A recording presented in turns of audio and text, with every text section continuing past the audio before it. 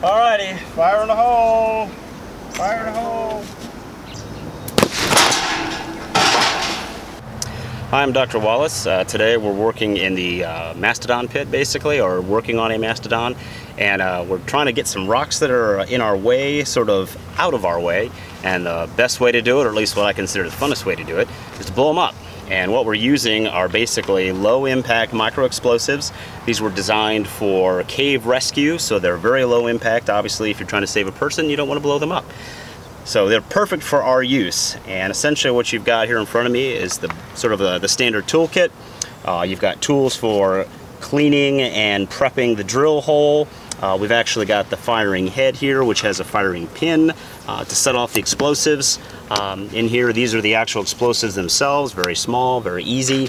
And um, of course, you know, the actual firing device itself. It's all run on compressed air, so it's really easy, really portable, and it's perfect for our use.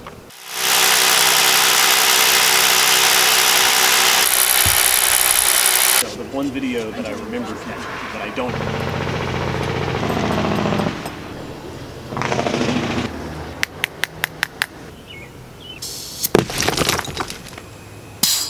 All right, if you noticed when I was drilling, it might have looked like I was holding it in a really awkward position. What's nice is this is a hammer drill, so pretty much does all the work for you. So really all you have to do is hold it in place and it'll do everything for you.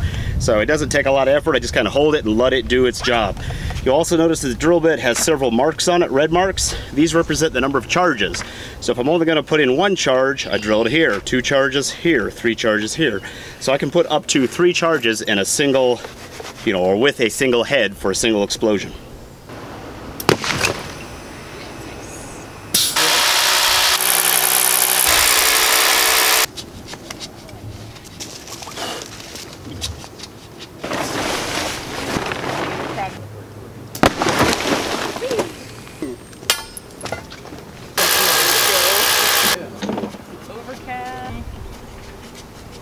That's just a huge thing The thing of all the neighbors.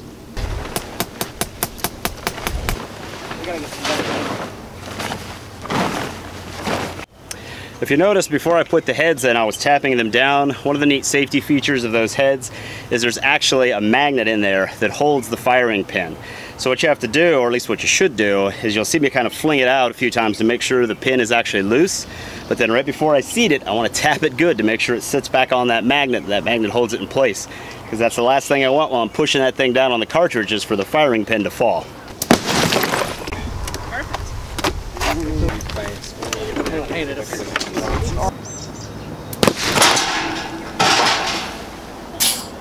I hope you enjoyed the blasting today. I know we did. It was a great tribute to the 4th of July.